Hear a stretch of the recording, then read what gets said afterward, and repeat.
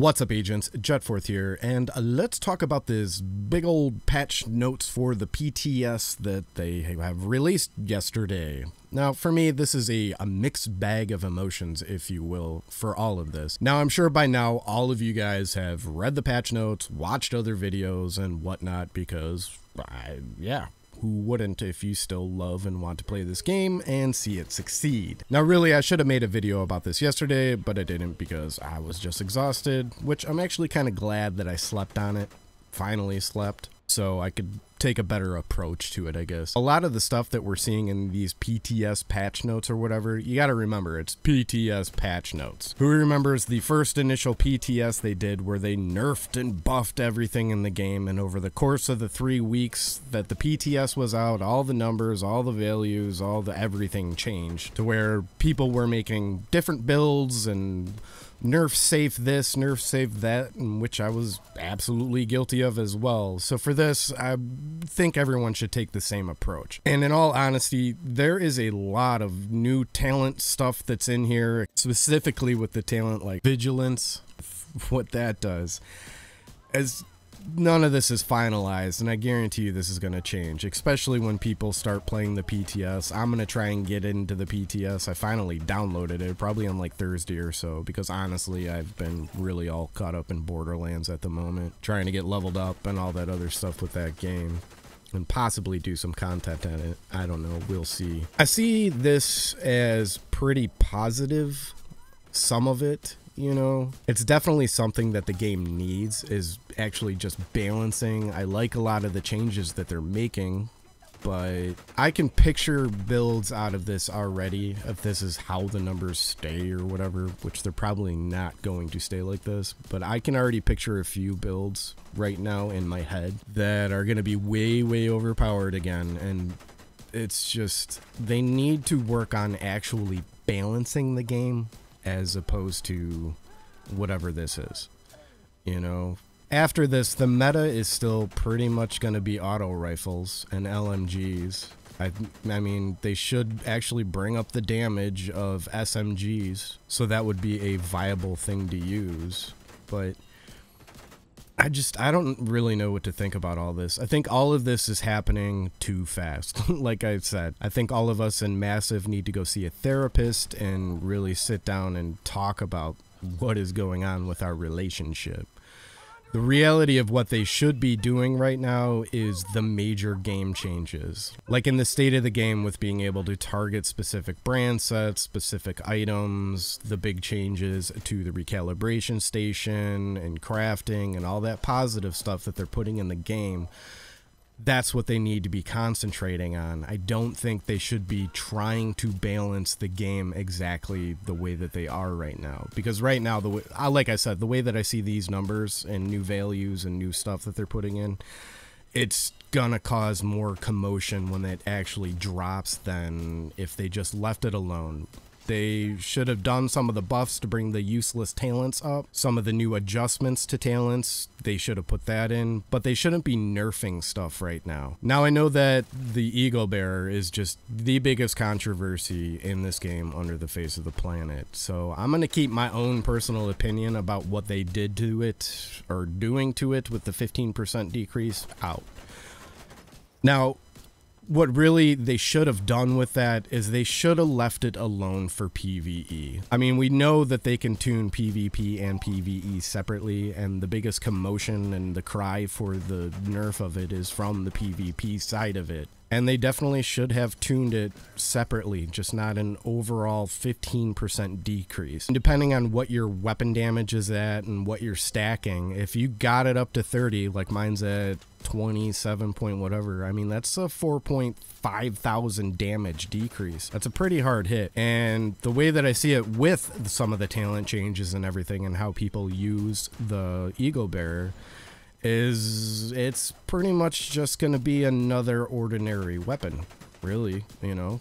A lot of the builds that revolve around it is Unstoppable Force Sandor on the ropes and stuff like that. And with those being nerfed and the Eagle Bearer being nerfed, I mean, honestly, you might be better off just using the custom P416 again.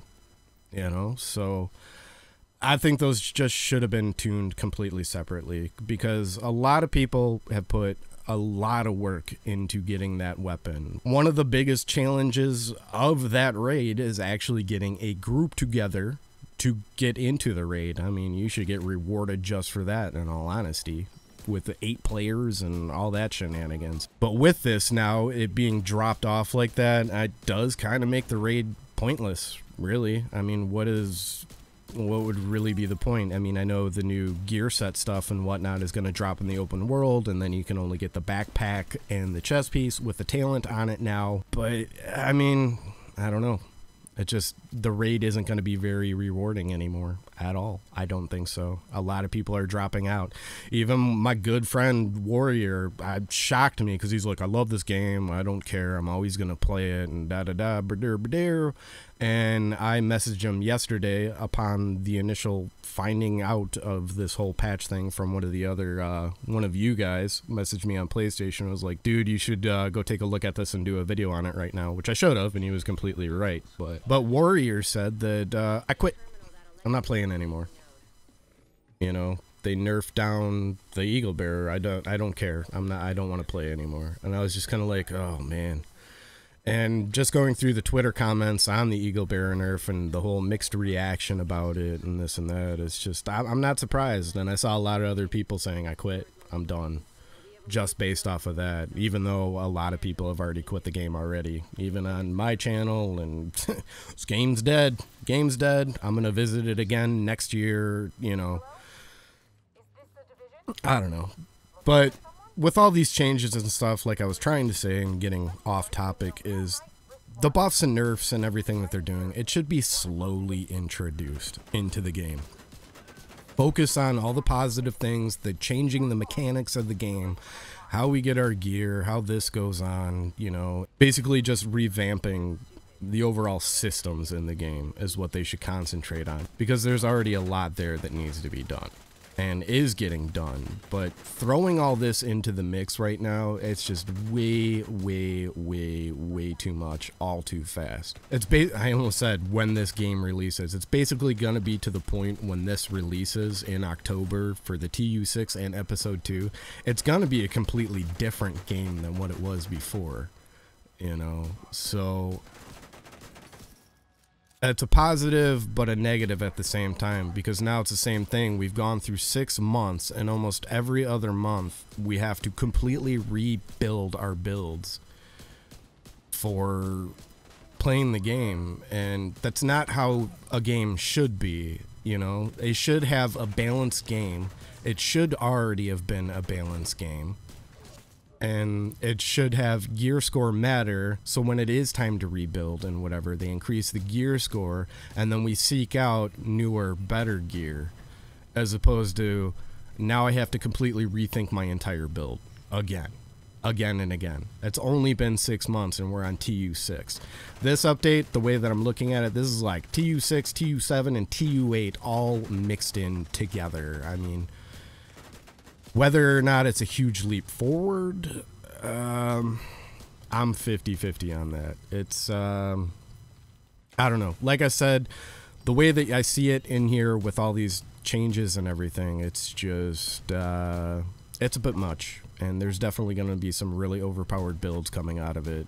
They really need to hire somebody over there that is a builder that isn't making the game that can put builds together give them everything all the top notch and make builds and be like dude this this can't be like this.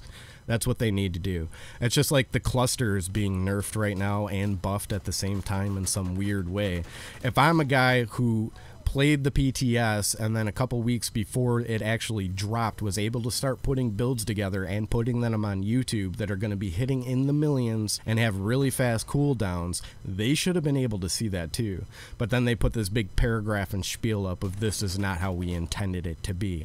Well, you put it in the game you decided this is how it's going to be and then you're going to nerf it down it's the same thing with the eagle bearer they they had to have known how powerful it was and what it can do before they released it, but they do it anyways. And then they wonder why everyone gets bummed out, quits the game, doesn't want to play anymore when they come in, swoop in, and nerf and change everything. I don't know what's going on over there or who's in charge, but man, they really need to.